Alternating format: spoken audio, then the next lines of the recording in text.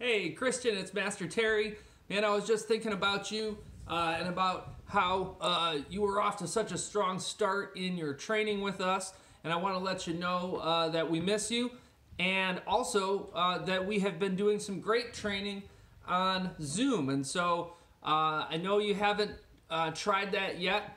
I didn't think it was going to be as great as it is. I'm really surprised at how much fun everybody is having with it. So, uh, man, we can still train, and I think that the tough guys are uh, doing their best to make things work out, even though uh, even though we'd all rather be down at the school uh, in person.